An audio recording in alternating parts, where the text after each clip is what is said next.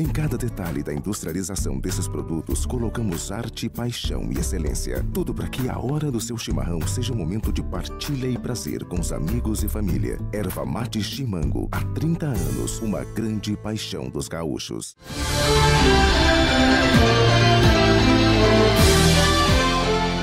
Será realizado nos dias 26, 27 e 28 de junho em todo o estado a votação da Consulta Popular 2018-2019 por meio de voto secreto. Estarão aptos a votar apenas os eleitores com domicílio eleitoral no Rio Grande do Sul. A votação poderá ser realizada por meio digital, de forma online através do site da Consulta Popular em consultapopular.rs.gov.br ou de forma offline, através de aplicativo desenvolvido pelo Procergs, disponibilizados para uso dos Coredes e Comudes para captação de votos. Fique atento, para realizar a votação é necessário o número do título de eleitor.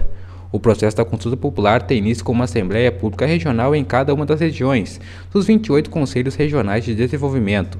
Esta Assembleia é aberta à população e nela o governo apresenta a situação financeira e orçamentária do Estado e os Coredes apresentarão seu plano estratégico de desenvolvimento, que servirá de base para a discussão das demandas de cada região que irão constar do projeto de lei orçamentária anual.